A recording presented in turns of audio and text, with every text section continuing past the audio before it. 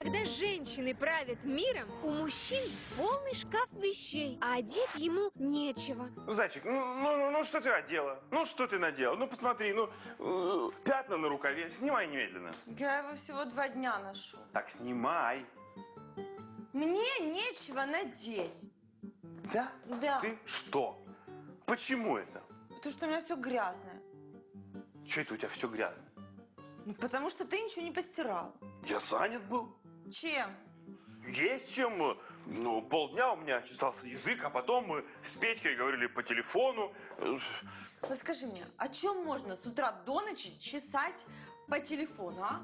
Потому что нам с Петей есть что чесать. У вас с Петей есть что чесать, а мне надеть нечего. Что? Что ж? Это тебе нечего надеть? Да. Это мне нечего надеть. Понятно? Да у тебя шкаф ломится от вещей. Ломится. Да. Ломится. А надеть нечего.